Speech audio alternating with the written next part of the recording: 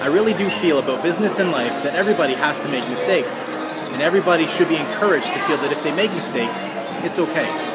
Michael Eisner.